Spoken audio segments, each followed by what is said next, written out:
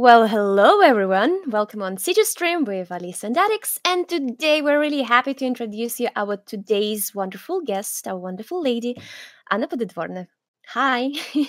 Hello, everybody. Hi, guys. It's finally finally done. yeah, finally done. So, um, again, sorry that we couldn't have a stream last week, but again, it was like amazing story. Uh, I think we'll just touch it a bit today. I don't know. I don't know, but um, I promise you that this stream will be really fun. And okay, let's let's let's just start with our uh, usual uh, question. So, Anna, please tell a few words about yourself, how you just decided to become an artist, about story becoming an artist, and stuff like that. Mm, okay, so uh, hello everybody again. Um, my name is Anna Podedworna, and uh, uh, currently I'm working as a uh, lead concept artist at uh, the studio uh, called Flying Wild Hog, based in Warsaw, Poland. before that, I was a senior concept artist in uh, CD Projekt Red, and I spent there about four and a half years. Um, so uh, yeah, basically, I work mainly for uh, video games, uh, delivering um, concept art and illustrations. Um, oh, well, it's always so hard to uh, talk about yourself. Don't be um, shy. Easy, uh, easy for you to say. You're like a social butterfly. oh. Um, Okay, so um, uh, hmm. um, uh, before I started my career uh, as a concept artist, uh, I was studying to become an architect. Uh, that didn't turn out the way I wanted, so uh, basically I switched um, my occupations. but um, I was passionate about art and illustrations, basically for how long I can remember. And uh, I discovered when I was in college that uh, concept artist is, an actual job that there are people who uh, get to draw monsters and characters and uh, like cr- crazy environments for a living. Uh, so i fell in love managed to um, get into the industry and been doing that ever since and i'm very happy Okay, uh, so here will go some announcement that I told you about. Um, again, guys, uh, today's stream is in English because Anna doesn't speak Russian, and me and Alex sorry, doesn't guys. speak. Yeah, and Alex and I don't speak uh, Polish. I mean, Alex speaks, but a little, and he's shy. So please don't be surprised if you are an English speaker. Don't hesitate to ask your questions in English in the comments. И теперь по-русски. Ребята, сегодняшний стрим у нас будет на английском языке, как всегда, с иностранными гостями. Не волнуйтесь, э, запись стрима обязательно появится на нашем канале. Мы обязательно рано или поздно добавим к нему субтитры, поэтому, пожалуйста, не удивляйтесь, что Анна, к сожалению, умеет разговаривать по-польски и по-английски, я умею разговаривать по-английски и по-русски, и вот так получилось, что общаться мы можем только на английском. А, если что, опять-таки, не стесняйтесь, задавайте свои вопросы на русском языке, обязательно их зададим, и потом, а, возможно, кто-то в чатике будет помогать переводить на русский язык всем остальным. Да, а, маленькое замечание после этого. Ребята, которые писали про то, что у нас долго загружаются субтитры, пожалуйста, обновляйте ваши странички, потому что, например, вот стрим Слоиш, который был там около года назад уже, ну, чуть-чуть меньше, к нему давно загружены субтитры, просто надо страничку обновить. Okay, I think we can continue. Sorry, sorry, Anna, for, for this little announcement. Yeah. Um, So I think that we talked about how you became like you said you were uh, studying for architecture, being wanted to be an architecture. And my second question will be, how did it help your career right now? How it helps you in every day? What's probably the difference? What I don't know, uh, difference in studying archi- architecture? How it helps you nowadays with being a concept artist? Um, uh, actually, it's uh, surprisingly uh, helpful uh, because um, at least for the um, uh, uh architectural university I uh, was trying to get into and uh, later studied, in, the entry exam was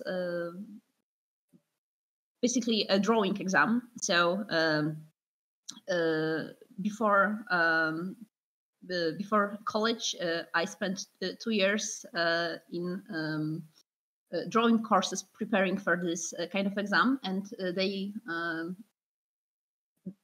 preparation for architecture gives you uh, great uh, base knowledge about drawing because you're studying a very technical uh, side of drawing. You're drawing by hand on big formats. you're studying a lot of um, perspective, um, uh, you are uh, um, instructed in drawing very strict geometries. Um, there, uh, there are not that many, uh, not that much time spent on uh, teaching human or animal anatomy, but I guess that part always came to me more naturally. So I was I was super happy to be able to uh, study the part that uh, I used to struggle the most. So um, perspective and the, the super precise uh, side of uh, illustration. And uh, later uh, in college, we didn't draw by hand that much, but I guess there are many kind of soft skills you learn. Um, so um, a bit of dealing with clients, uh, a bit uh, about um, uh, kind of time management. I guess all of it is very useful, and of course. Uh, concept art and architecture um, have uh, quite a bit uh, of the overlap when it comes to learning um, good taste, building kind of uh, your uh, mental uh, lib- library of um, mm, images. So um, yeah, I I don't consider it uh, time wasted or anything. It's um, the studying of architecture itself uh, was very fun and very interesting. Uh, but unfortunately, the work of an actual architect is not the same what they teach you in college. So it's uh, much more uh, paperwork, much more um, um, kind of this whole crushing, uh, sad uh, sitting uh, by the table and just dealing with uh, changing claws and stuff like that not actually creative uh, super passionate work. Uh, so that's why i decided to switch to concept art because that's basically 100% just creating new words, creating new char- characters, and just uh, hours upon hours of like super imagine- imaginative, creative uh, endeavors, and that's awesome. Nice. yeah, yeah. No, no, everything is fine.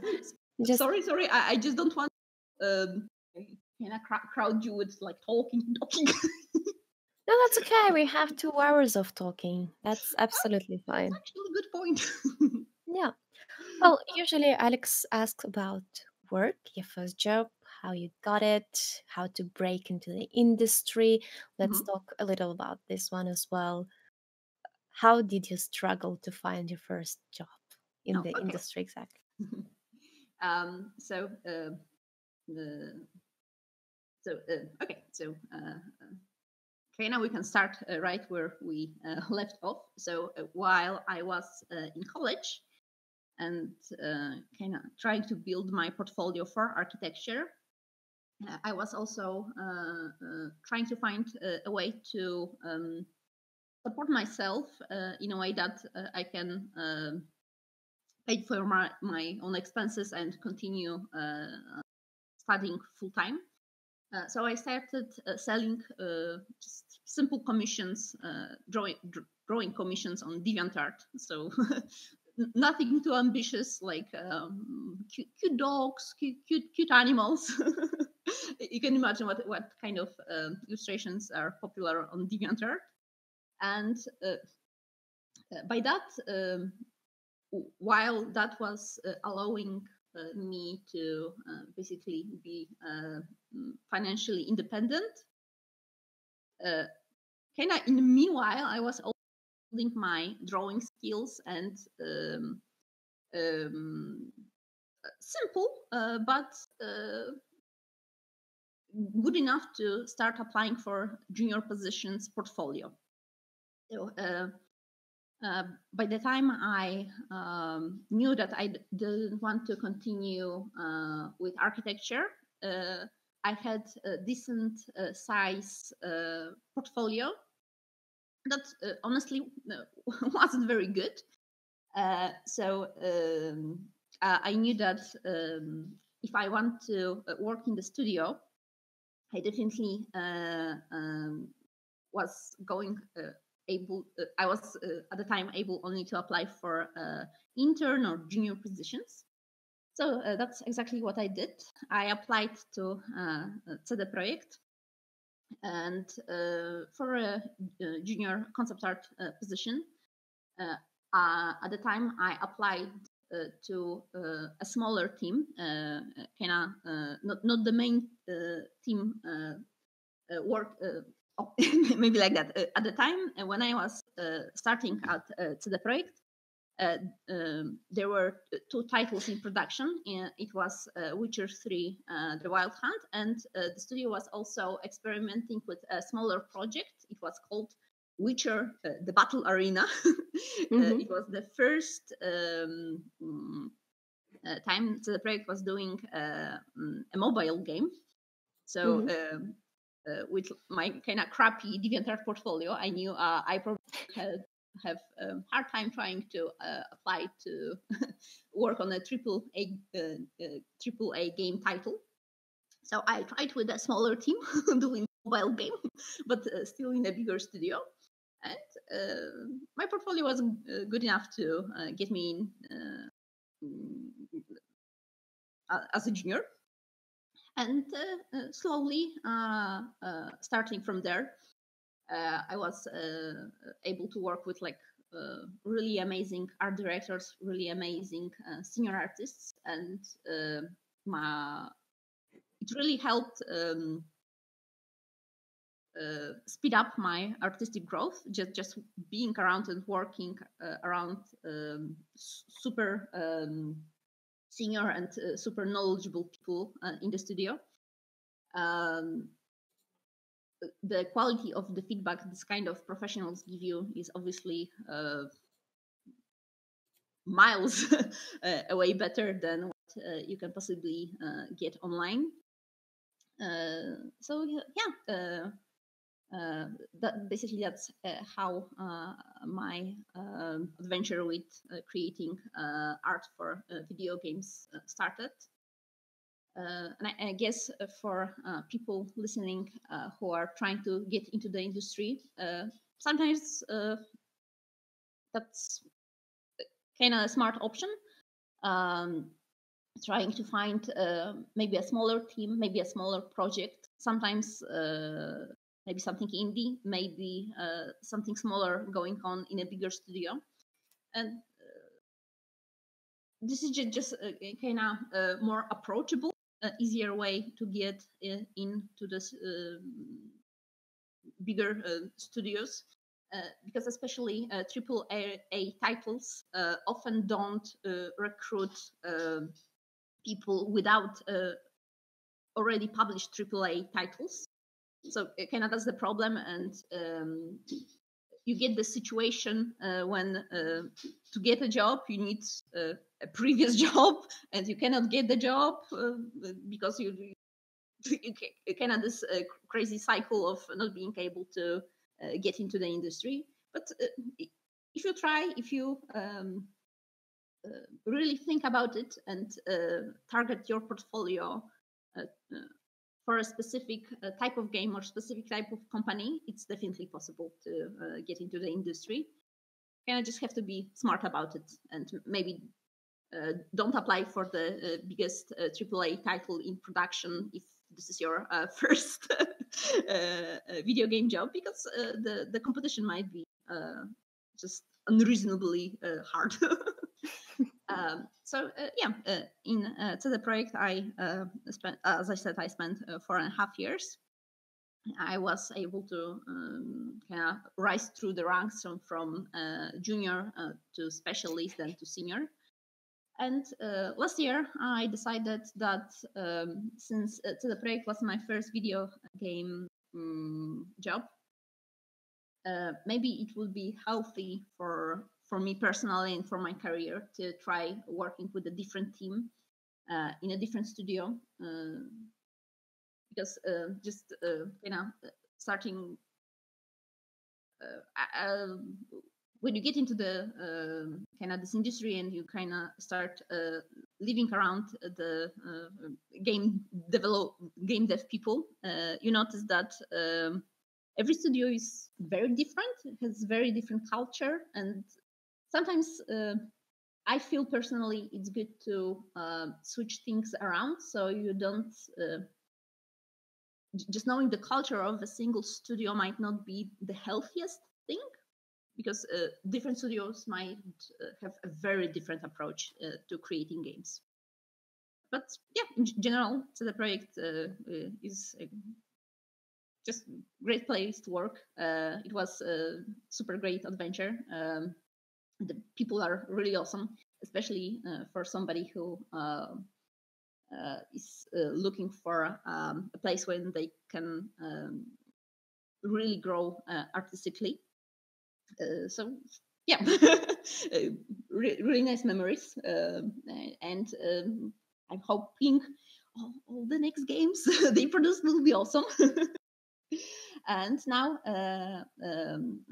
uh, uh, uh, in the my current studio, Flying Wild Hog, I am a lead concept artist. we're working on a game that is still unannounced, so unfortunately, I cannot say much about it. um, uh, all I can say is that um, it's uh, the most exciting project I've worked so far uh, I r- really love the theme. I really love the art style, and I'm just having a blast there. Uh, the team is super lovely. Uh, it's great, basically. cool. So, uh, just before we move into another topic and another questions, what's most important for you in your working environment as an artist? Um, uh, I mean, uh, to be honest, uh, uh, from time perspective, what really makes or breaks a studio uh, are the people you're working with, uh, because um, um, so um, I, am not super picky uh, about the theme uh, of the projects I'm working on. Uh, obviously, I have my preferences. I love medieval fantasy. I love um, many um, kinds of sci-fi. Uh, but uh, so uh, um, the, reason uh, I uh, chose to work in studio is because I kind of like the human interaction and because basically if I wanted to pick and choose what, what I want to work on, I would be doing more freelance or maybe go become a full-time freelance artist so for me the the most uh, kind of enjoyable uh, part of uh, um, creating games is just being around like super um, passionate super artistic people and just pushing uh, each other forward Yay, I agree. Yeah, just don't don't be surprised that it takes a little to you know to continue talking because sometimes people just, uh, I mean, we need to not to understand that you finished your sentence and your thoughts, you know, to, to, to continue having the, the dialogue and stuff. Yeah, j- just saying so that you wouldn't be scared. Okay, uh, yeah, uh, I think that everyone is waiting for you to draw something. So probably yes. So probably let's let's let's move on to drawing. sketching. and Anna's mind's oh shit. oh okay, yeah. so um, uh, since we are kind of um, mm, freestyle. I, I, guess let, us let's, let's do something uh, that's uh, easy to for me. so basically, a comfort zone. Uh, maybe let's draw some um, werewolf. Yay! It's, it's Halloween soon, right? Just why not a Yeah, werewolf? oh, you're right. So we, we can say it's like in, in the season. yeah. Uh, Okay. Um, and before I start st- start uh, explaining, like uh, sometimes please just say what you're doing and why you're doing this, oh, because okay. we remember that you said that you're a pretty lazy person. Yeah. So when so when you're drawing, we know that you use some cheats and hints and stuff. Of course. So if you can share those with our subscribers, so the guys who's watching us today, it would be really appreciated. Sure. Uh, okay. So, um, um so uh, where to start?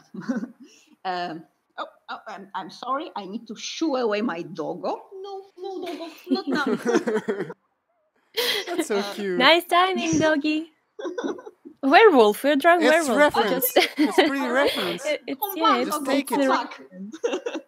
uh, so, um, uh, basically, um, uh, I, I- I guess uh, um, I'll start with uh, a general composition, and uh, usually my sketches uh, sketches start kind of um, in a messy way. I like to uh, zoom out a bit uh, when I'm doing the the first uh, thumbnail. So uh, I- I guess what I have in mind right now is uh, maybe like two werewolves facing off uh, each other with uh, a bit of a, a crooked uh, horizon line uh, to give the more um, maybe hmm, dynamic feeling to the whole thing. Uh, so I'm already seeing that maybe the cropping I had before was not the most fortunate. So maybe something um, more uh, cinematic would be in order. Um, yeah, but uh, uh, as you guys uh, said on artillery, where we first met, um, I was talking about um, um, my ways of cutting down on the workload with illustration.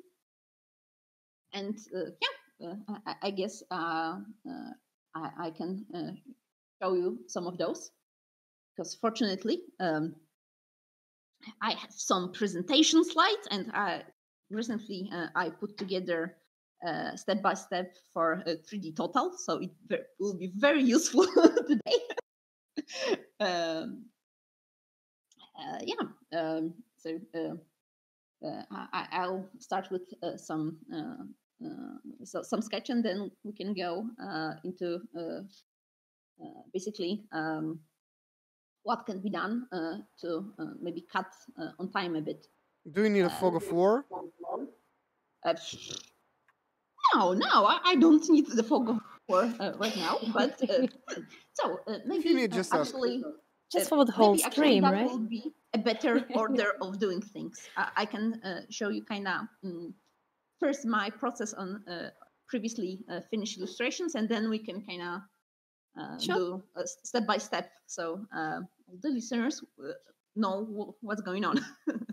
Yeah, I think we should just turn fog of war when Wow, you're yeah, showing the we don't need tips. fog of war. When, when you're showing tips, fog. that's like a secret. Like, okay, guys, it's pretty easy. Here, here's the all like two circles, and then goes fog of war. Oh, okay. Uh, so, um, um, Yes, Okay, please continue. yes, we're continue. yeah, we're listening. Uh, oh, uh, okay. So, um, uh, not sure uh, if uh, we are uh, screen sharing right now. Are we? Uh, if you want, I just uh, turn on fog of war. No, you, you can turn off the fog of war. it's fine. Okay, okay, okay. Uh, because I think uh, the painting was like uh, uh, we draw on one stick, we draw on second stick. That's poof like magic, and the painting is done. and basically that's how it happens. I'm joking, uh, but uh, yeah, uh, you can turn off the fog of war. I'll show you uh, on few examples uh, uh, how I uh, can uh, approach uh, creating stuff. So it, Turn it are we now. screen- uh, t- turn, turn it off. We, we can screen share. Okay, okay, okay. okay. They they all see in your monitor, so Good, as they should.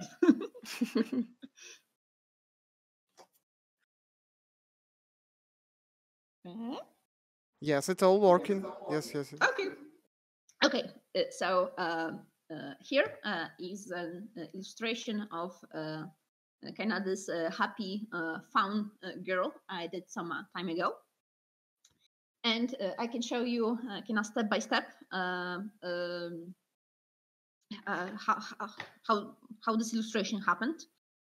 So uh, usually uh, I will start uh, with um, with either uh, black and white or colorful sketch or a thumbnail. So, for example, here um, in the uh, top uh, left corner, uh, I started with the idea, so kind of a portrait and a swirl of something coming out of the character with um, light uh, coming from behind uh, uh, of the girl. Uh, later, I uh, sketch in this uh, co- comic, uh, simple uh, uh, way uh, the, the character, just not uh, thinking too much uh, about um, maybe anatomy yet, uh, j- just trying to catch the general mood.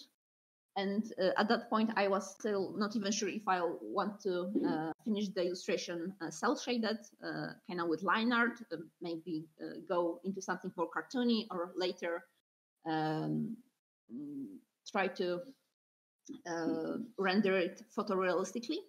But as you can see, by the end, I decided in the photorealistic route. So basically, I here I uh, at the next stage uh, I uh, was trying to figure out uh, basically the anatomy and the basic light directions. Uh, here um, uh, I kind of changed the idea. The swarm of bugs and butterflies coming, uh, flying off the girl's forehead. At that point, I kind of wanted to stick to just one butterflies, the butterfly. um, but uh, yeah, usually I, uh, if uh, I decide to uh, uh, go into the photo uh, realistic uh, style of painting, uh, I will uh, spend a lot of time uh, painting in grayscale uh, because um, I, some artists, uh, I would say, are talented enough to be able to control both uh, values and colors at the same time. Uh, I definitely struggle with that. Uh, so I need to uh, break uh, those two into two separate uh, stages. So um, uh, basically, uh, I, I try to figure out the basic light setup and values, and if that's correct, I um, paint in the color later. Because yeah, at least for me, if I try to start with color uh, from the uh, very start, um, I basically mess up the values really bad. Um, so yeah, uh, here um, was the next stage. Uh, so uh, I decided to uh, change her expression a bit. So bleh, bleh, bleh. Sorry. So I, I was uh, kind of putting more and more detail. Uh, here I was not. Um, I was deciding if I wanted to, uh, um, for example, make the girl cartoony. I mean, sorry, if I wanted to make the girl futuristic and uh, mm, butterflies and the rest of the insects uh, more cartoony. Uh, that's why the butterflies are kind of chunky shape. Uh, so uh, I, I decided at this point I decided, uh, nah, let, let, let's go uh, for full realism. So um, um, from the previous stage, I was kind of disliking the composition in the bottom, so I decided to add hands. Um, I decided to close the girl's eyes and um, basically uh, uh, started adding elements. Uh, parts of those are painted, parts uh, are photobashed. So, for example, the horns are based basically on an overpainted photo. The same goes for some of the backs. Just yeah. uh, th- those are uh, photobashed. Uh, I decided to some textures, and uh, after that, uh, yeah, basically from this to this was the, the, jump was to add color. The background is super um, simple. It's basically just blurred dots, um, which I do quite a lot with my paintings. It's kind of the illusion of detail. So for example, in this image, the, only detailed part are the girl's face, maybe some detail uh, on the hands, uh, the insects, and everything like her hair, uh, all of the background, uh, most uh, uh, of the horns, all of that is very heavily blurred and um, chunky. so kind of um, sells the image kind of sell, sells itself as being um, super um, uh, detailed and labor intense uh, when in reality it's really not uh, it was not as time consuming as it kind of pretends to be so yeah uh, what, what, else I, can show you? Um, uh, a bit uh, about kind of my process. so, um, so, for example, uh, you have some example uh, how I approach uh, uh sketching uh, when I'm working for a client. Um, the, the, previous illustration with was personal work, so I could experiment a lot on the way. But where when working for a client, I'm much more locked uh, into the uh, initial composition uh, of the uh, sketch, so uh, much less uh, experimenting. So here you here you have two illustrations of goblins I did for Magic the Gathering, and on the sides are basically the sketch explorations I did for those illustrations. Um, for clients, I usually deliver at least three um, um, compositions, and usually I work in black and white. Uh, yeah. um, uh, uh, wait, I, will zoom through uh, some stuff. Um, so uh, yeah, uh, basically, um, as I said before, I usually deliver three um, um, compositions and um, right now uh, we are uh, in a, a, a presentation uh, I, I showed in artillery and here's AFCT because here I have um, prepared materials, so that's very convenient. And this is my favorite slide. I title I am lazy, so I can show you guys ways uh, in which I uh, cut out uh, I cut uh, the time uh, of uh, creating illustrations, so it's more manageable and uh, yeah, easy. so, for example, um, uh, I show you some sketches, and but sometimes, uh, for example, here I was asked to um, create an illustration of a werewolf. I created this sketch. The art director unfortunately didn't um, like it as much as I did. They picked a different one so I went with a different illustration. Uh, sometime uh, later, I was asked to uh, paint a work. so uh, uh, I tried um, to uh, kind of um, adjust the previous composition to be able to reuse it. Really want to paint it. And unfortunately, the main art director came and foiled my plans again. Um, sometime later, when the art director uh, forgot my initial sketch, uh, I was asked to uh, draw a character. This time, a great success. I was able to uh, draw the composition I want. so uh, this is basically my way of saying that uh, at some point, um, after spending a few years in the in the in the industry, I explored kind of so many uh, themes and so many uh, illustrations and concepts uh, at some point uh, the, the themes tr- uh, start to repeat. So I, if I really enjoyed some kind of composition, I, I, really try to reuse it, able to paint the idea, kind of reskinning the the illustrations. so, uh, but I, I guess the, oh, here you have some examples of the difference of how I approach um, um, uh, sketching when I'm sketching uh, in house and when I'm sketching for outsourced. So uh, here are some illustrations from Gwent when I was working in house. So the sketches are much more simple and um, can I assume that the art director will trust me to uh, deliver um, mm, the result that they want. They personally know me, and uh, I don't. I don't.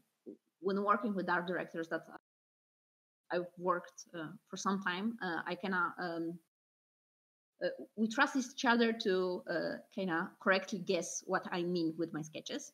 But when working with um, uh, new clients or outsourced clients, uh, as shown here, I usually um, try to put more detail in, uh, just so the person doesn't have to guess what I might have meant by the sketch.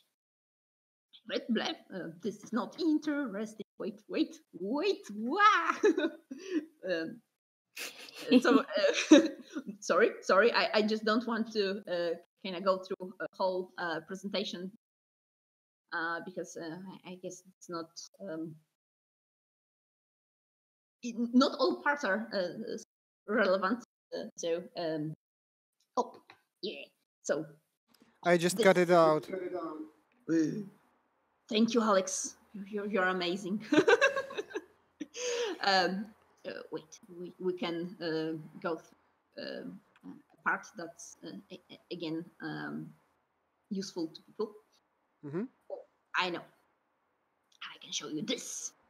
Uh, so, uh, Alex, you can release the fog of war. there actually was a question if you're using 3D in your yes. art, so uh, I do, and we'll uh, uh, uh, come to that. So, for example, here I also use what I like to call 3D for stupid people. so I own few like posable dolls for artists just to uh, kind of um, explore the sketching uh, phase uh, faster. So basically posing them. Oh my god, what my dog is doing? Oh, okay, it's fine. Sorry. and um, yeah, and um, here you have a few examples of uh, how far uh, basically I, I, sometimes go uh, into drawing just just in grayscale. So basically, I finished the illustration in grayscale light colors. And uh, oh, um, here are a few examples of works uh, were, that were based so uh, while work, working on Gwent, it was super convenient that we had access to um, the engine of The Witcher 3 with all of the uh, really great quality uh, 3D assets. So, for example, uh, those three guys uh, are uh, basically exported from the straight out of the engine.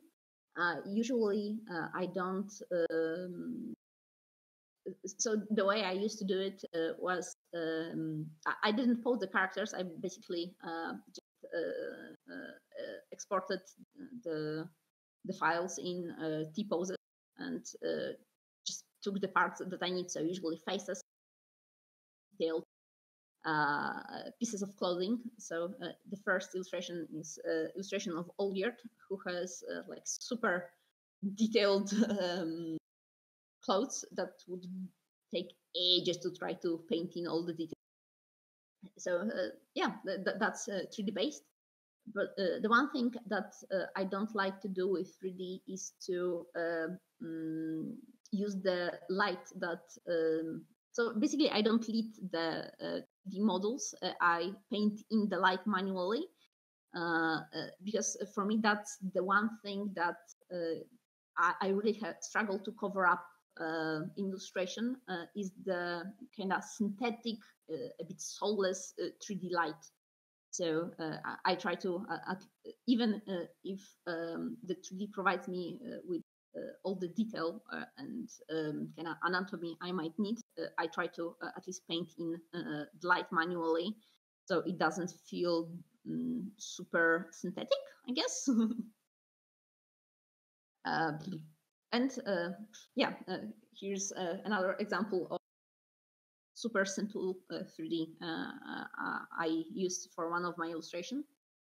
so um, here I literally spent like 30 minutes to build a simple cog mechanism in SketchUp.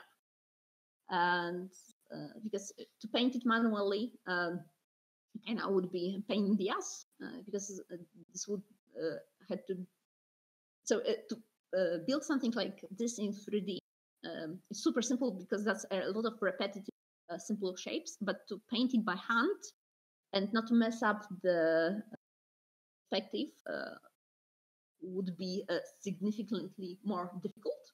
So yeah for for situations like this uh, I, I, do definitely recommend using 3d just not to kind of waste the time that doesn't really need to be wasted. And uh, yeah i also uh, photo bashing and uh, take a ton of photos uh, to um, uh, use as reference. So, for example, here is an example what I did with the illustration of dandelion. So, parts of so yeah, the, this illustration it has photo bashing, it has 3D, and it has painting. So basically, uh, to finish it, I, I need I needed to use everything I uh, I knew. this is uh, like a short tutorial how to be in Jaskier for two minutes. Yeah, there you go.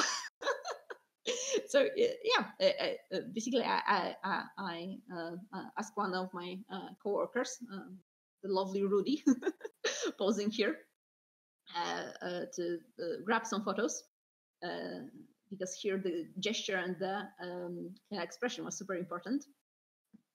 So, uh, uh, for example, in this illustration, uh, the hands, the face are heavily photo based. A lot of the clothing is 3D, and the background, it was less important, is hand painted. So yeah, sometimes you need to use everything to be able to deliver the illustration.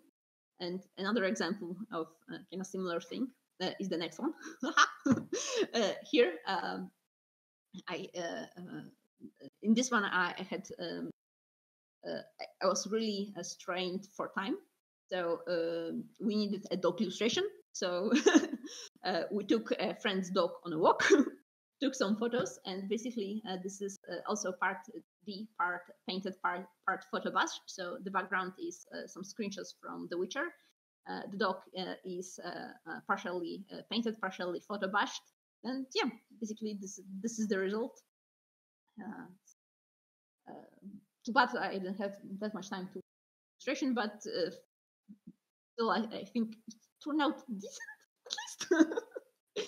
um, blah. Uh, another thing, uh, uh, for example, I, I, sometimes do is reuse my own illustrations. So if I painted one skull, I can make another skull out of it.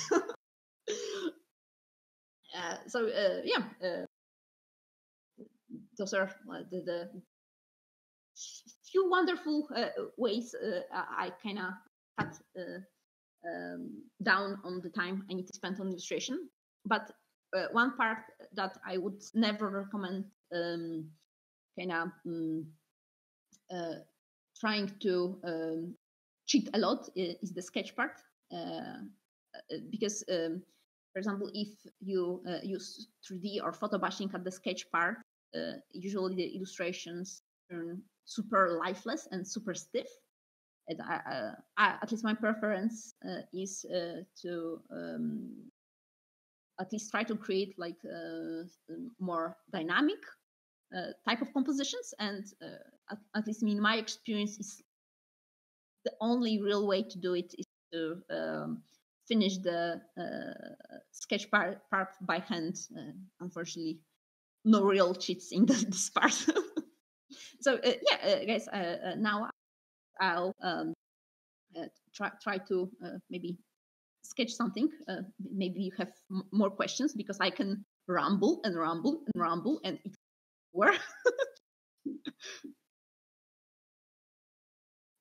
eh? Yes, we here. Yep, yep, Or s- don't leave. Sorry, the, the, the ever so uh, awkward uh, transitions. I'm I'm I'm sorry. No, no, no, Not sure how to transition.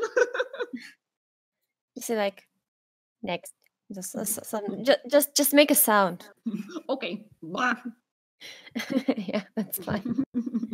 Uh, people actually were curious about how you switch from uh, black and white paintings to the color one. Mhm. So probably a few words about this as well, because I think that's a pretty, uh, how to say, it, the topic which uh, newbies, the beginning artists, are really interested Okay. in. So, and here we can click back to our helpful little presentation because we do have a topic about that. ha ha ha. Very O- convenient. okay, uh, Fog 4, i- it works. So you can easily do stuff. Yeah, yeah. So I can show you on the presentation. I can can can uh, show you uh, Huh? This? Oh, yes. presentation. So uh, uh, there are uh, two ways I usually uh, start uh, um, uh, in. There are uh, two approaches I usually use in uh, starting to uh, put color into the illustration because um, just painting manually in the color of the illustration can be uh, absolute pain in the ass. So um, uh, usually I uh, put uh, um, hmm, you know what? Maybe it will be easier if i show you in photoshop not in presentation. Yes it will be. Wait let, let's put some random tones. So darker lighter whatever whatever. So uh, so uh, uh, usually i would pick um, some uh, solid color layer uh, put it on over the whole image. Um, uh, go uh, put the opacity down to maybe like 30 40 maybe 50 percent. And uh, put it in the mixing layer i will put it to difference. And what that this layer does it um, pushes the your tones into um, hmm, uh, it pushes uh, all of the dark tones you have in the picture into the uh, color that you picked and uh, all the um, light uh, areas into the complementary color of the one you picked. And uh, what you basically you can um, really simply um, kind of see uh, super simple uh, color um, compositions uh, that will be natural, naturally um, pleasant to eye because those are just complementary. And what's uh, very important, it won't mess up uh, your uh, values.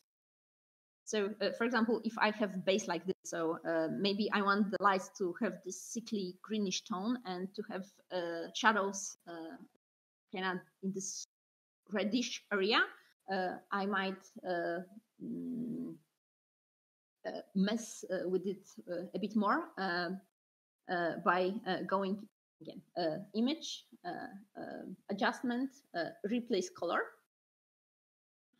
and what uh, replace color does uh, you can pick uh, one color on your image select the fuzziness basically the range you you want to be able to edit and then you can edit out a single color in your picture.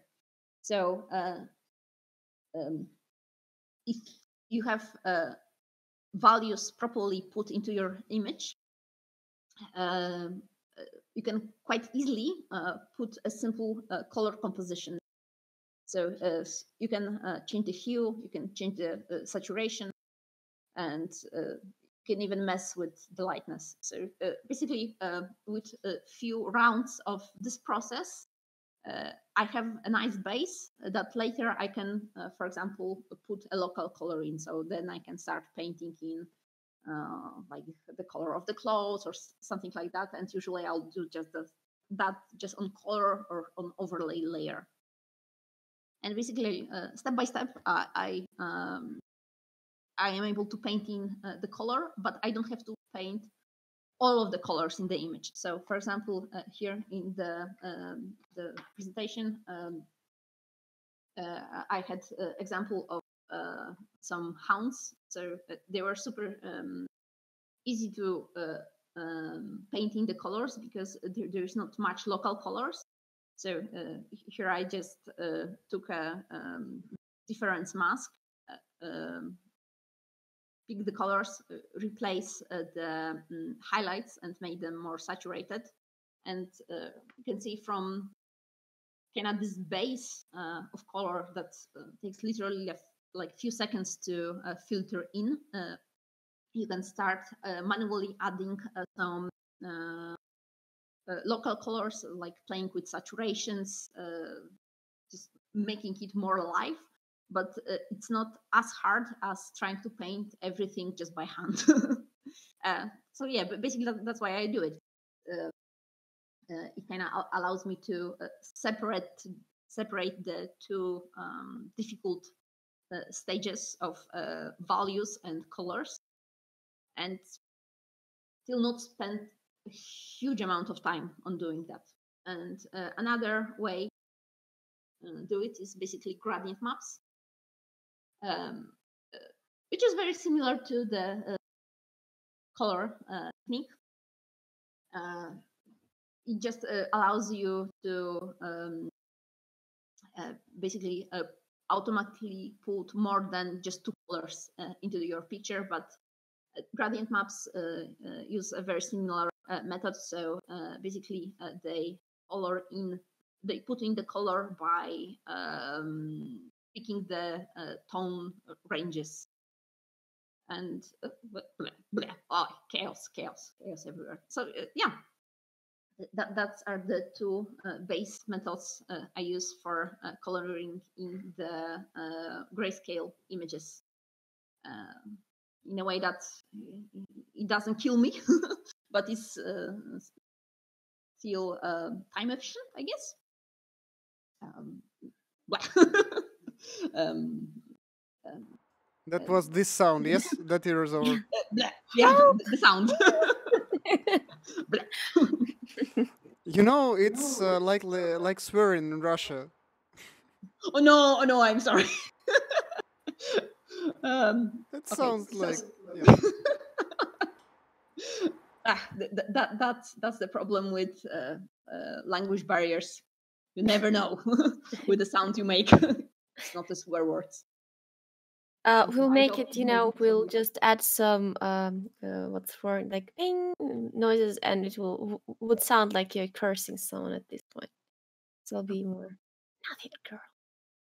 I'm sorry, I didn't quite catch that. Could you repeat?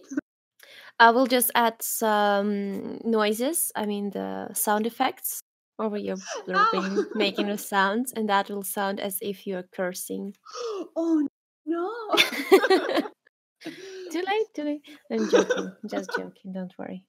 but actually, that would be funny. uh, so uh, yeah, maybe you guys have any more questions.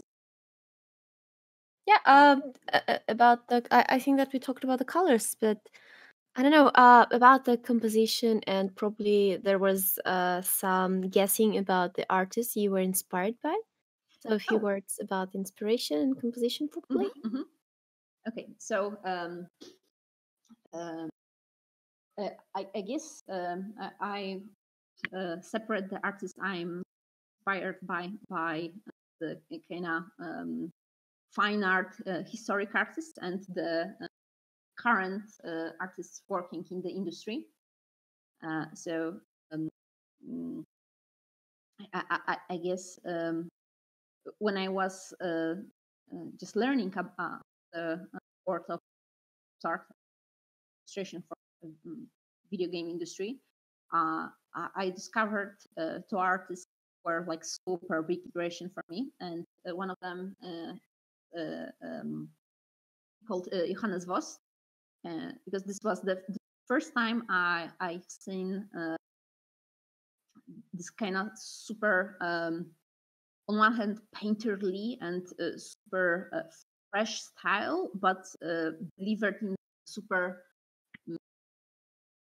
tasteful, realistic manner. It's hard to describe. So uh, yeah,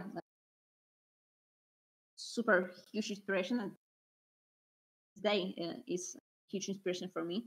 Uh, I wish I could uh, be. I, I, I wish I would be able to uh, achieve this level of brushwork he does uh, at some point. Uh, another uh, artist that I uh, discovered early in my career and I huge amount of respect, Andrée Wallin. Um, he works much more the movie industry right now, but again, this one of the uh, first artists that made me uh, realize that uh, digital art uh, a real career choice that you can uh, support yourself in that way it can be um, a real job basically. And of wonderful uh, collaborative pro- process between artists. Uh, so yeah, I, I guess um, I, I, would say those two are um, the artists that um, when I'm thinking about uh, what made uh, um, choose this career and um, kind of uh, gave me the first most important push to be more serious about my artwork and not not treat it just a kind of simple way to make some uh, additional money to college basically. And yeah so so yeah. I would say th- those two. And of course there are uh, many historic artists uh i was uh, for I ever uh, realized uh, that something like digital even exists. Um, hmm. I say for exploration. I, I, I, guess uh, I really love the uh, pre-Raphaelites movement. So um, uh, again, um, something uh, more more realistic. I guess I always uh, gravitate to uh, that side uh, artwork, but uh, uh, very inspired by fairy tales and those um, you know magical enchanting moods, this kind of stuff. Um, I guess. Oh, and another artist that I, I guess would be a shame not to mention from the uh, contemporary uh, digital artist be Simon Stålenhag. Not sure how to pronounce uh, his name, but uh, uh, the guy who created the series Tales from Loop and uh, Things Flood. So um, like the super heavy, moody um, pieces with a bit futuristic uh, twist, uh, but uh, not fully sci-fi, just very grounded, very um, yeah, I would say like super grounded uh, to reality uh, and yet futuristic. okay, uh, so I, I, guess now the noise.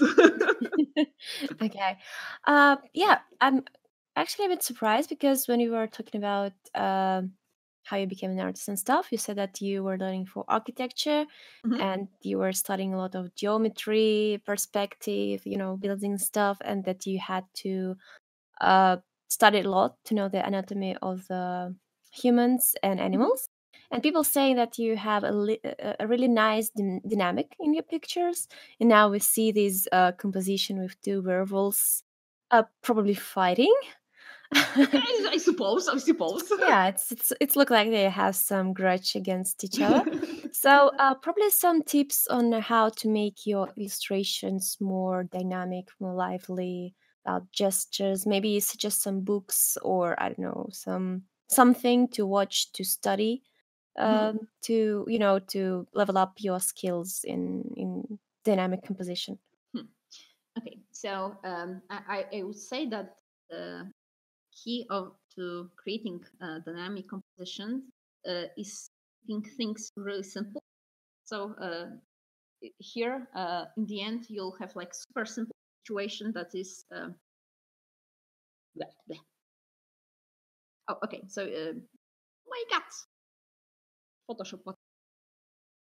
Uh, so you'll have like super uh, situation when you have slanted uh, horizon and a, a big form uh, in front and uh, simple uh, form the back. So you'll have like a super um, clear um, um, uh, I guess hierarchy of shapes. So you have uh, you'll have uh,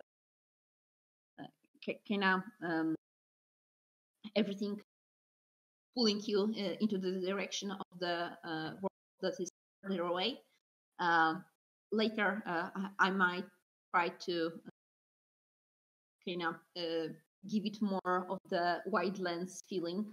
So either by repaint parts or just like um, think if maybe just sorting a, a bit uh, to uh, replicate the white uh, angle lens will make it, um, I guess, more dynamic and link.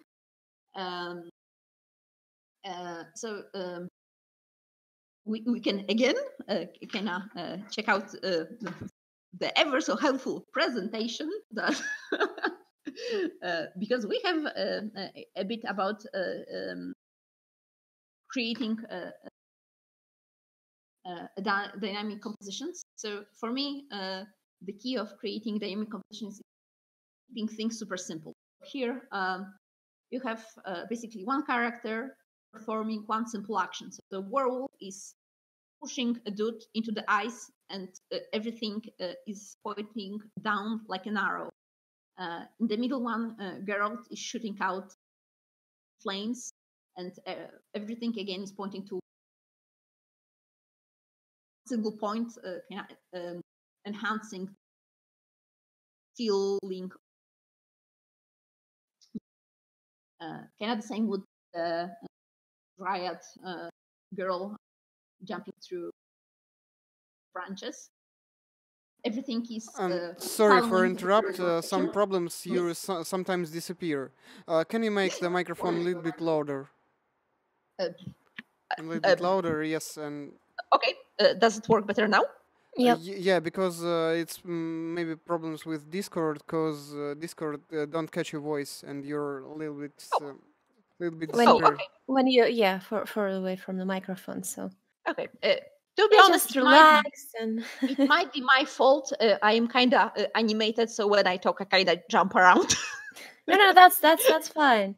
Uh, it's just so that we c- could hear you clearly. Okay, so uh, whenever there is an issue, uh, let me know, and I'll try to I don't know kick my computer because I that's all I know. Don't do that. Don't do that because previous microphone is uh, is broken. Don't kick your computer good point. Good point. Um, uh, okay, so um, continuing with the dynamic compositions, I guess, and not focusing about uh, how much I suck uh, with computers. thank you. Because that's quite embarrassing. Um, uh, okay, so um, uh, basically, uh, here you have uh, the point illustrated clearly. So uh, those compositions are um, dynamic uh, because, um, kind of in essence, they are uh, insanely simple. They just point into into one direction, and uh, uh, I, I, try to make uh, every element of the picture kind of um, um, make the direction of action I picked um, uh, uh, even even more pronounced. And I guess the best kind of uh, medium to uh, try to um, understand um, dynamic compositions, I would say, is animation. because in animation, um, animators really try to uh, uh, convey uh, usually uh, very beautiful, elegant lines of movement. And uh, for me, that uh, always was very helpful. I I own few books with just keyframes from different movies and keyframes from animation, just kind of to study how how those guys uh, were able to figure out um, the dynamism in the image. and uh, yeah, another uh, great reference uh, uh, if you want to kind of get your mind accustomed to dynamic positions are obviously comic book because those guys are masters of the craft of conveying the movement.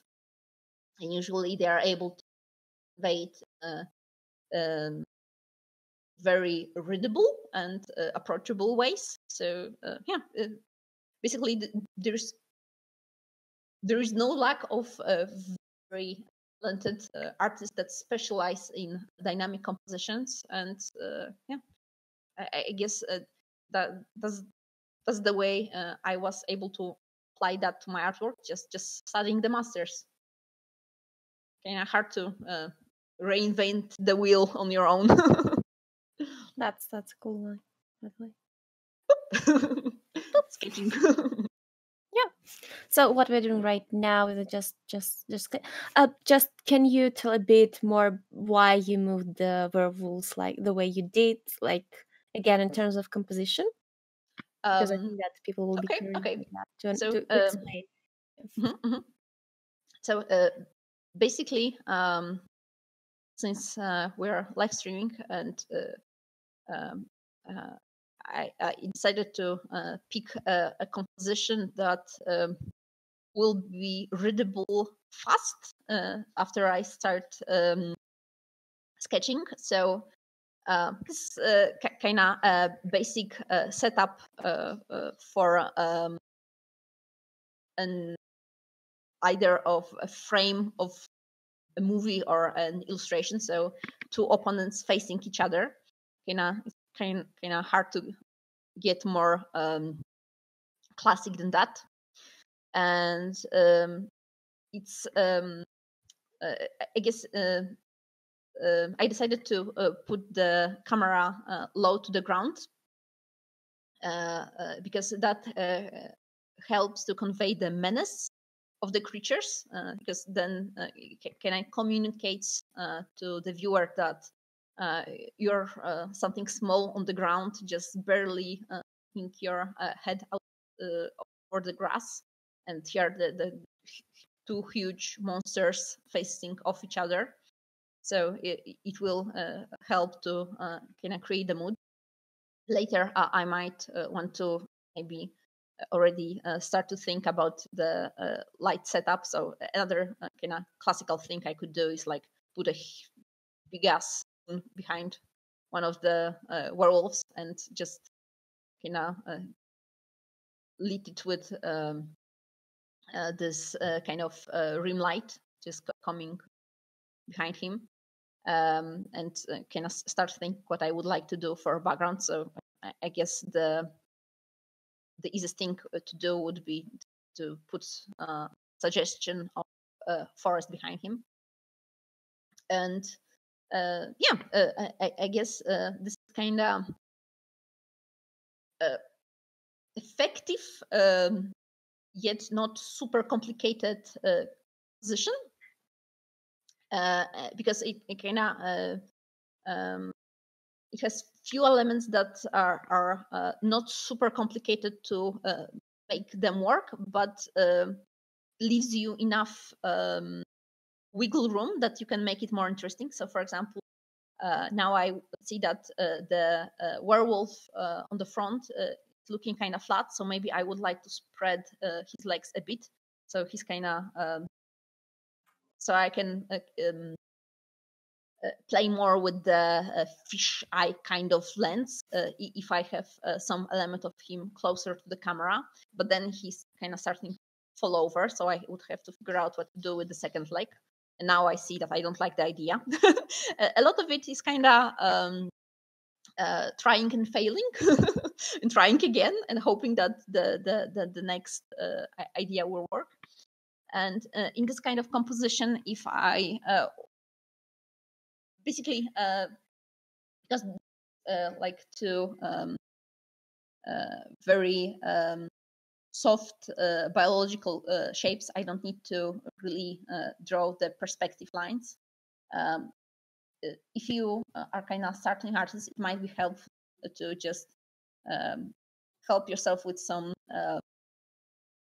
just perspective guides to uh, kind of uh, help you uh, stay focused and decide what what will be the um, uh, focal point and uh, if i decided to for example um, uh, make it a, a, scene happening in the day maybe i would keep the uh, perspective uh, grid to maybe help me um, sketching some uh, serious serious the fluffy, fluffy clouds. Just, just, yeah, just relax. Don't don't be nervous. Yeah, I, am sorry. I, I um, kind of scatterbrained. A few uh, thoughts uh, ahead, few thoughts behind. Yeah. No, no, that that everything's fine. It's quite clear what you're explaining. So just yay. Thank you. So uh, yeah, uh, so uh, another way uh, I could try to uh, kind of um, um, make the um, feeling of the composition harder, I, I uh, maybe uh, try to paint in clouds in a way that they maybe also follow the perspective. But I like this idea less than huge kind of world. Uh, and anyway, this is still far away from stage that might be uh, useful. So uh, usually when I sketch, um, uh, my uh, sketches look uh, very messy at the beginning, and I uh, usually just catch a layer, a solid layer, layer over it, and basically um, painting uh, another layer of sketch, maybe detailed time, just layer of a layer uh, at some point uh, I arrive uh, line art that is clear enough for me to use. And uh, again, as I previously mentioned, um, it really um, the level uh, of detail I put sketch really depends on the situation. So if I uh, draw something for myself, usually the sketch will be have all the necessary elements, uh, uh, the basic composition, uh, basic anatomy, but may- maybe I won't bother with painting in, um, I say, uh, details of clothing, uh, super fine, make um, decisions about, um, I don't know, just just a little details background. But if I know that somebody else has to uh, look at the sketch, uh, prove it. Uh, usually, much more detailed in the approach. Cool. Uh, we have just um, another question about the details, and I think it's kind of re- related to to the composition we have right now mm-hmm. about the focus and how to add the right amount of details to the illustration for it uh, to look either um, for it not look either empty or overloaded. So a lot of beginners just add, you know, quite a lot, uh, amounts of details, objects, I don't know, patterns to the illustrations, Mhm. or else they just make some really basic stuff and indeed it looks empty or they don't know where to put the the focus point. Mhm. And here we see that one of the werewolves, like you really see the that they gonna fight each other. Again, the focus on the werewolf uh, on the background. The the I don't know, probably will have a blood on this uh, Oh. paw claws. Yeah, we, we see in front of us. So, uh, what's the right? Um, uh, not not the pipeline, but uh, how would you suggest to to, to work with the de- details and um, I don't know what's what's what's the proper words. How to, I hope that you uh, understood what I'm trying to Uh, uh, say here. Yeah, yeah, I, I get what uh, what yeah. you're trying Sorry. to say. Yeah, sorry, Okay. it was. Uh, No, no, no, no, no, no. Said it. Uh, I, I understand perfectly what the question is. Uh, okay, so uh, in general, um, the uh, truth is that detail is not really your friend when you're trying to uh, accomplish a realistic effect, because detail usually will be the part that um, the moment that um, um, kind of uh, rat you out that th- this is uh, not uh, a photo, this is real world. Uh, uh, so you have to be very strategic with where you put the detail um, uh, because you cannot feasibly um, make the whole illustration detailed.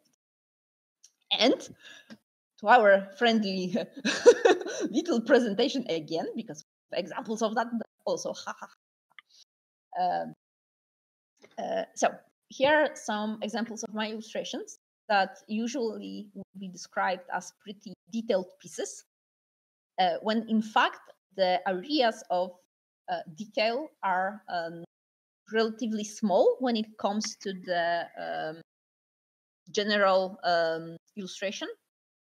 So um if you really um, uh, pay attention to those illustrations, uh, none of them have um, very detailed backgrounds, for example.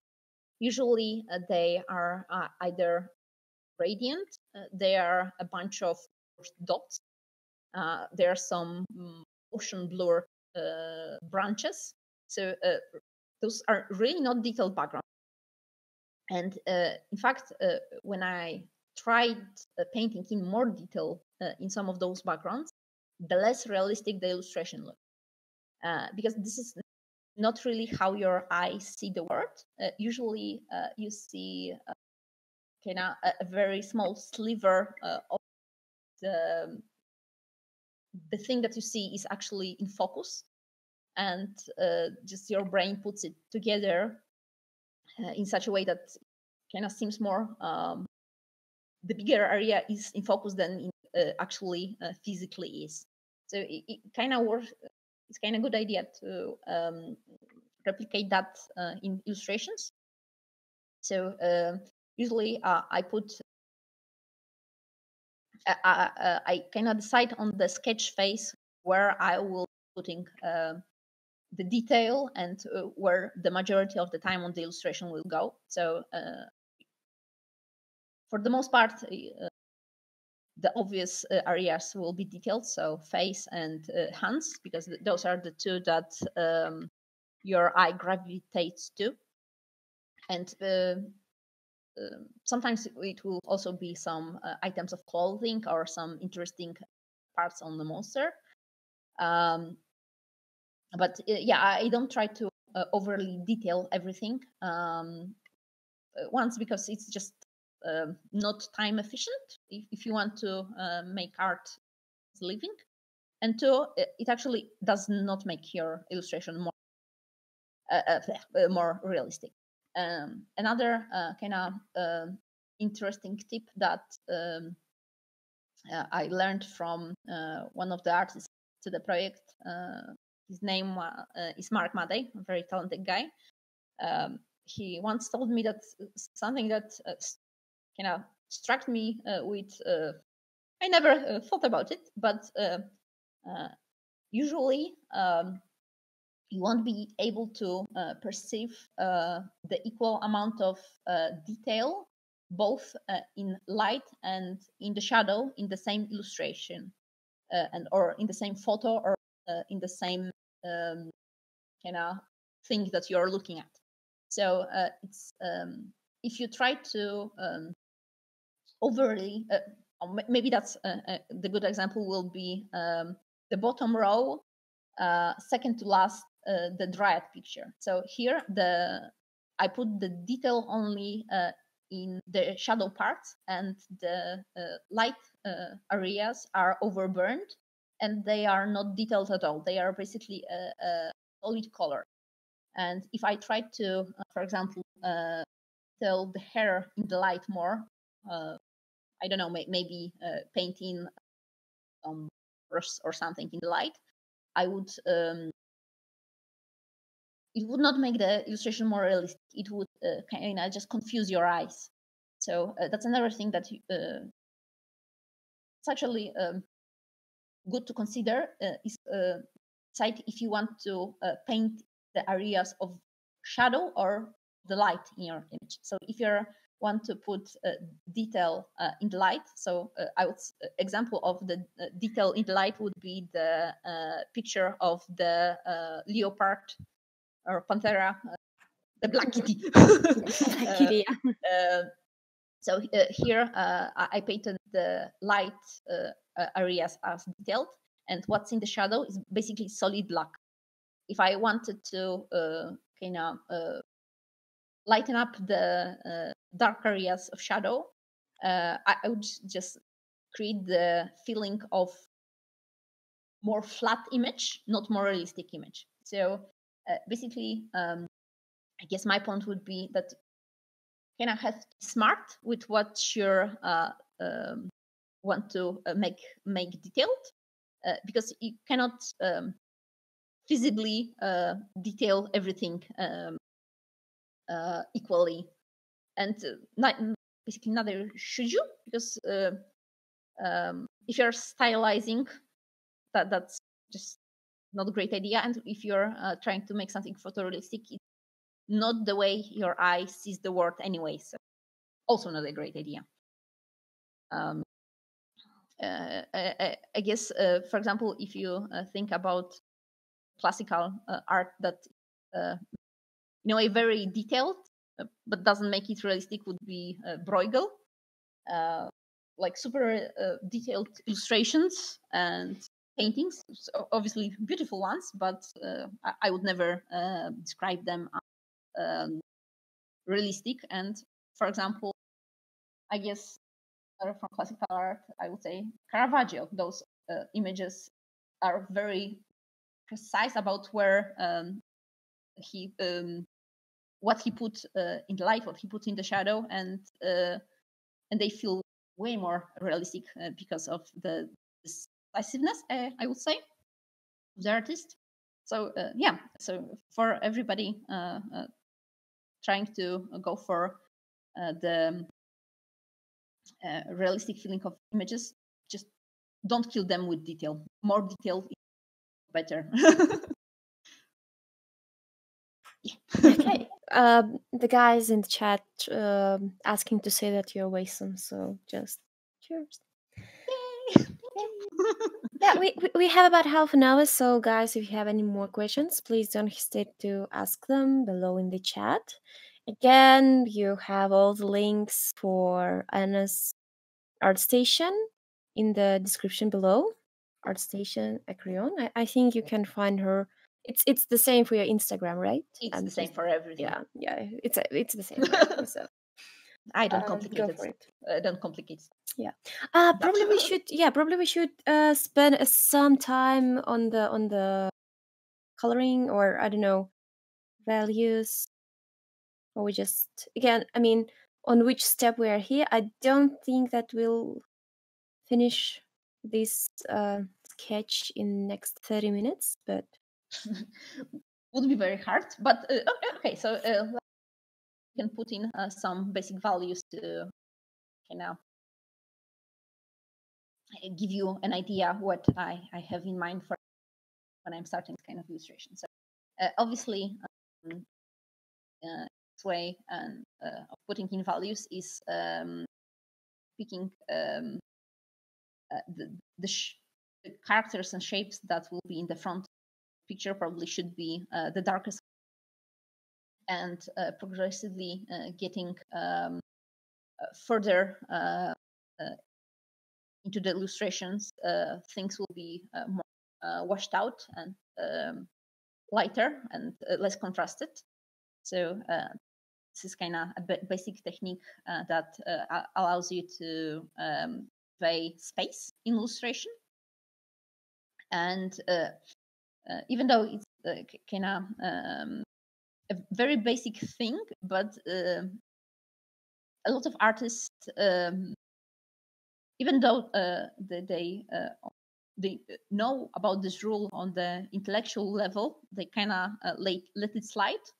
Um, which makes uh, I, I, mean of course there's always a license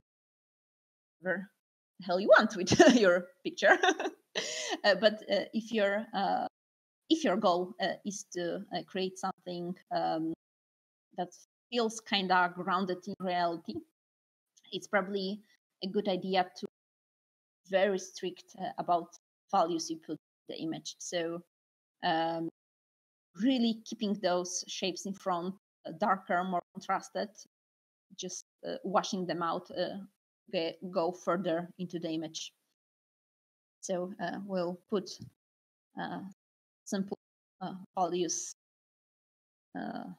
roles.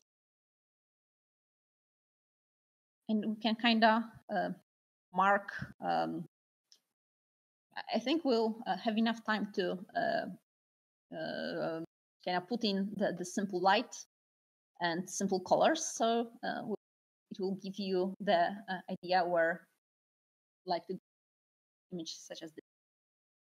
So yeah, the, the dude in the very dark, the doggo further in the back lighter.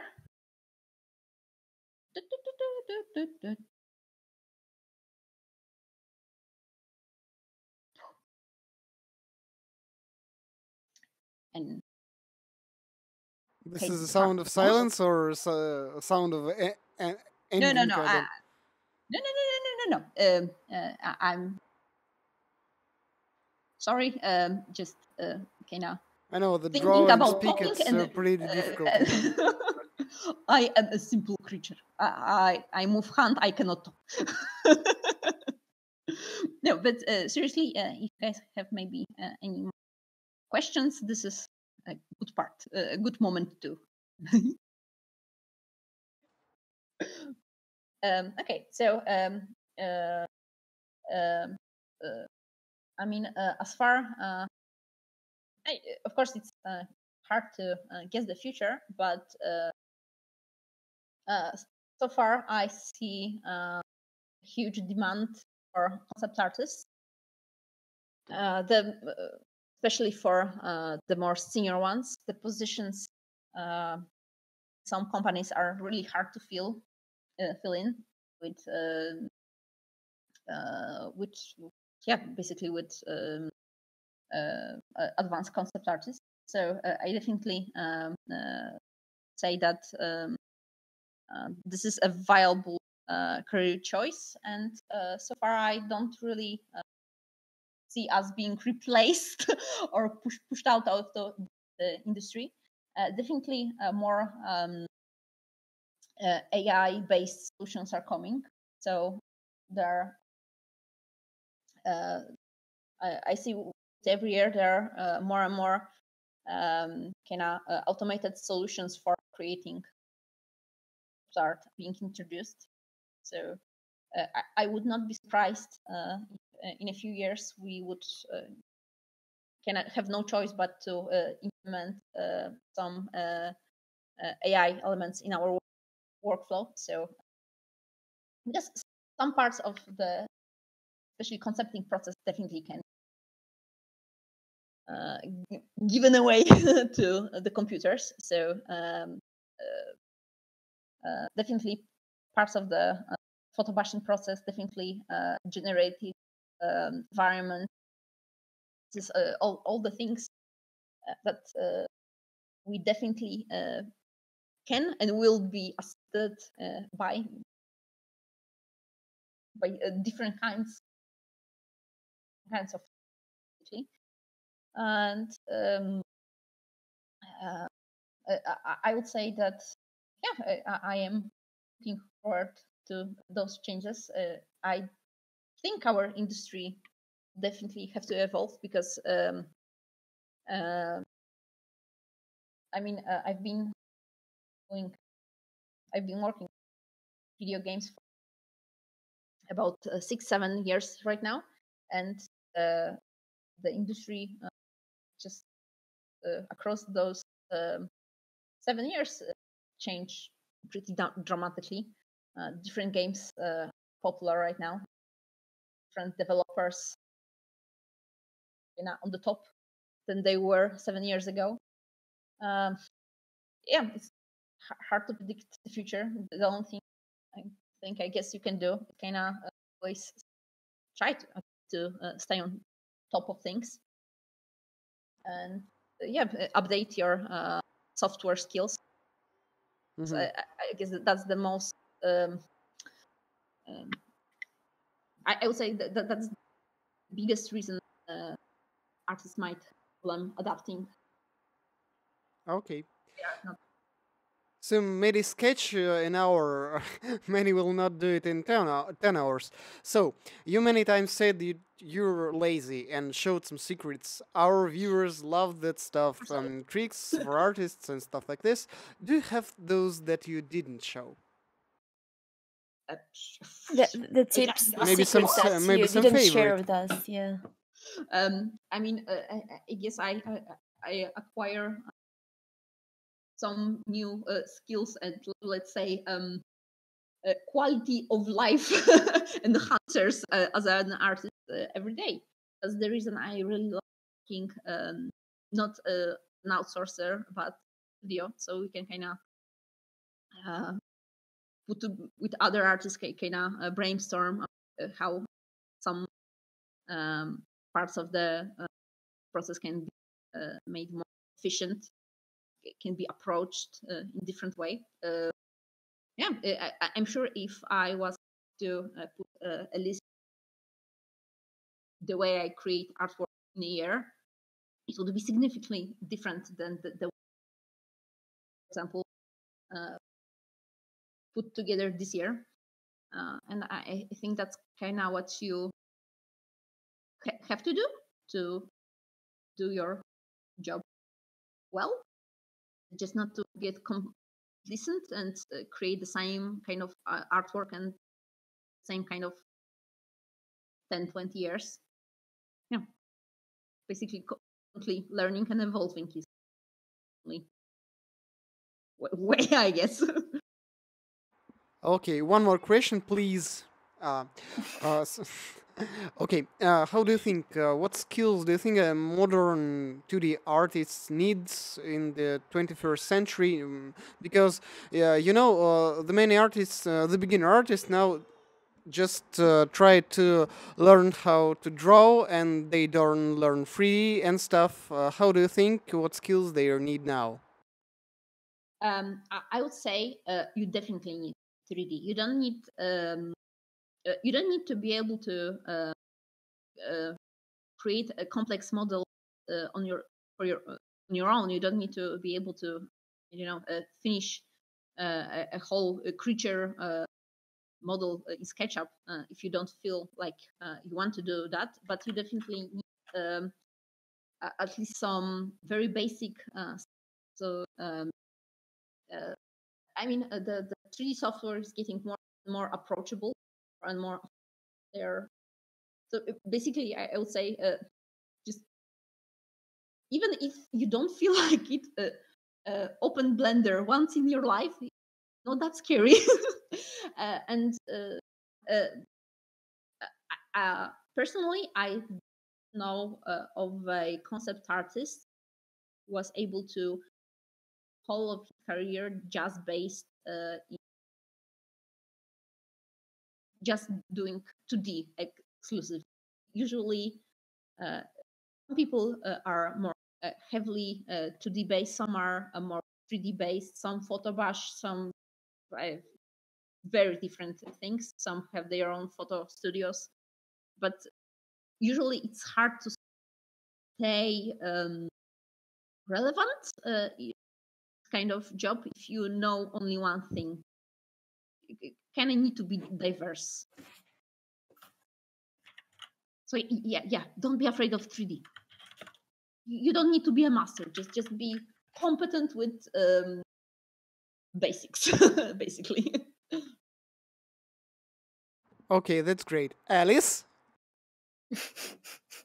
Did you hear that? Like, Alice? Was it like help or it's like, ha, got it? No, no, no. it's like, I'm just trying to, yeah, just. It was a very angry Alice, I have to admit.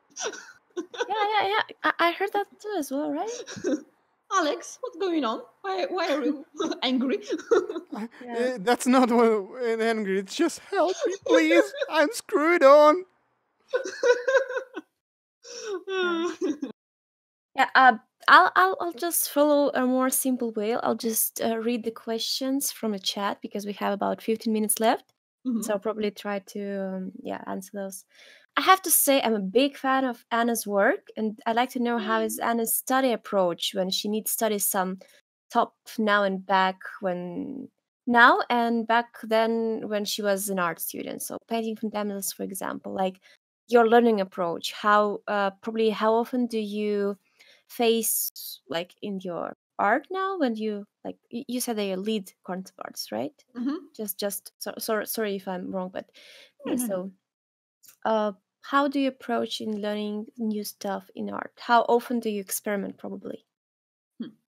Um, I, I, would say uh, I experiment pretty much constantly. Um, uh, I, I, guess um, sometimes uh, it's hard for me to answer the question because usually people expect uh, I'll have books or tutorials I would like to recommend. But usually, what I do is kind of um, inspired by other artists or something happening in the world. And for example, uh, if I find artists that are, I think is super, um, it's a huge inspiration. I don't try to find tutorials that person. I usually try to backward engineer what they are doing uh, on my own. Uh, so um, to be honest, I, I, think about careful observation and uh, uh, just uh, kind of um, really thinking and trying to re- memorize what you're seeing. So uh, kind of not. Um, lots of people have the habit of kind of man- mindlessly looking at things, and uh, they have uh, very poor uh, visual libraries.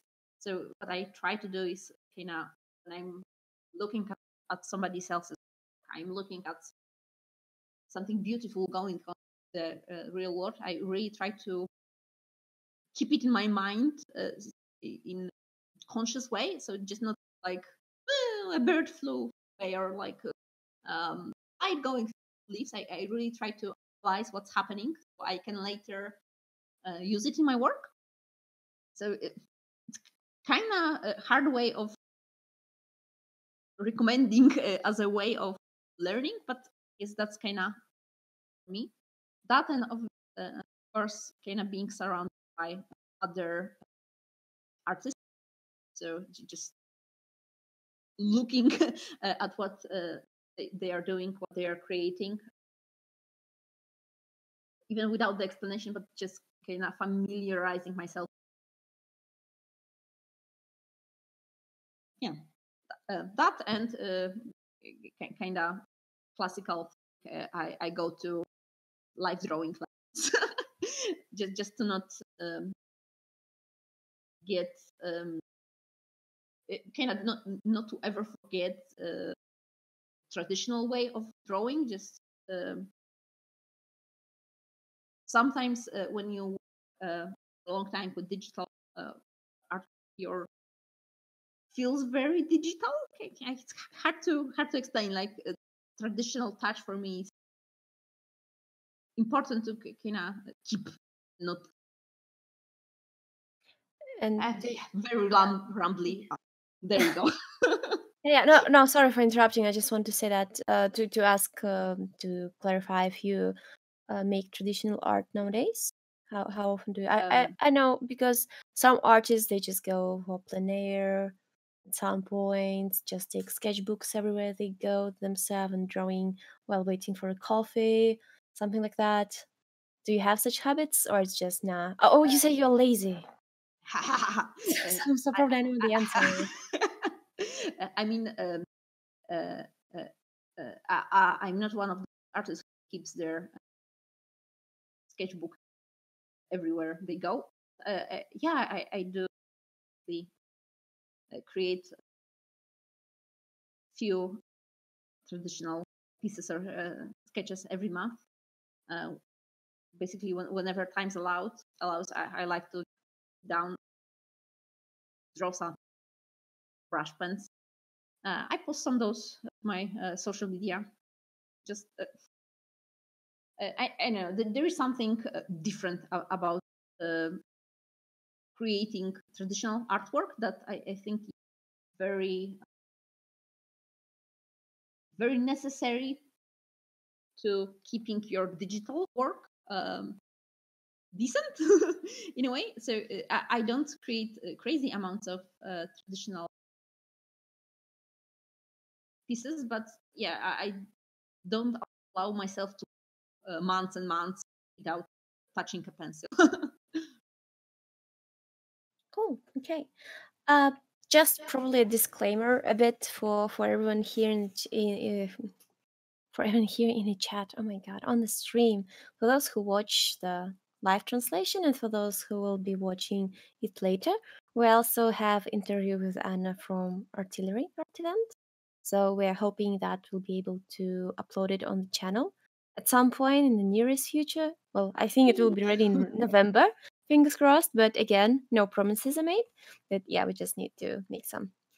Um, what's what's the proper words? I, I'm really sorry. My English not as good today as can be, could be. But yeah. And I think that you answered a lot. Yeah, yeah. But I think that you answered a lot of questions, and we also made a lot of suggestions, advice for young folks, and we'll have some more in the upcoming video. So I think we just need to come up with some funny questions. Uh, we left about nine minutes, and we'll just be finishing the stream soon. So I, I I'd like to go with the question that I pretty like myself. If you would be able to become a god, so what would you do? What would you what would you feel, and how would you change the world? Hmm. I mean, you have like, whoops. I mean, you can probably I, I don't know how how you uh, you know uh, understand this question, but you can understand it anyway. Like you are the only one, or you are become a god some certain uh, I don't know uh, area or you, you know how it was in Greece. I, I'm I'm really sorry words right now, and it's just the end of the hard day. So oh. like in Greece, they have like a goddess of love. For example, you can become like this, or you can just become the the god of all the earth, and you can change whatever you want. What would you do? Um, I mean, uh, obviously, the only uh, correct answer. I mean, the God lay waste to the world. Well, what else would you do with the God? Help people? Uh, hmm, um, uh, yeah, I, I- guess it's uh, hard for me to. Uh, um, uh, It's not a serious. I mean, you hmm, can take it seriously, but you can also make a joke with it. That that's um, absolutely fine. Because if if you don't like kind of another hard one, to uh, uh, answer it seriously yeah, so much that would uh, would be nice to fix with the world, but with just a you know a feeble human brain, it's even hard, hard to imagine what what should be the priority. I think that's impossible even for the gods. But yeah, so, so, sorry. so yeah, uh, uh, yeah. Let, uh, there's let, so let's continue. I would rage quit and just fuck everything up. There. Yeah, yeah. I, actually, Alex has another questions that he Y- wants Yeah, to. because of uh, tons of fans of Witcher in the chat right now. Uh, so, if you could be in any character from The Witcher, who would it be and why? That's that's I don't know if it's easier for you to to answer, but Perfect. Hmm. I would want to be one of the crones, uh, uh, the one that uh, has uh, bees coming out of her eyes. That's uh, Oh, endless supply of honey. Yeah. you okay. like honey? You like honey? of course, Of huge one. Huge fan. And, that's, that's, uh, that's yeah, to the point that uh, my, my mind obviously gravitated to the only self-sufficient honey producer in the nature world.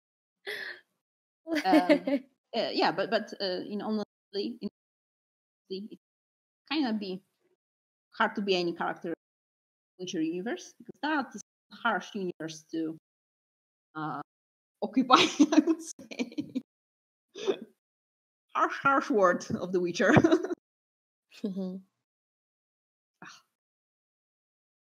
Okay, I think in, in that case, like we don't have any more questions. I mean, probably have a lot of them, but again, we have only two hours for the stream. Mhm. So thank you for everyone who was watching us today and will watch us in the future on YouTube channel. And thank you, Anna, so much that you agreed for the stream. And we know that it was a bit stressful for you because of the cancellation of the previous one, postponing, setting up all the hardware and stuff yeah that, no, no, no, that happens i mean it just i i hope that it wasn't i hope that you enjoyed the stream today as well You guys were as much welcome. as we did ah, of course, I did. So yeah. yeah thank you for coming thank you for sharing all the cool advices tips and stories you shared with us today and again thank you everyone see you on the next stream and it was anna Podedworna, a great artist and your host as always alisa Khudinova and alex Melnikov. Bye. Because I, I just yeah, I just realized that I pronounce our surnames in such a funny way. So yeah, thank you guys. Bye bye. Thank you so much. Bye-bye.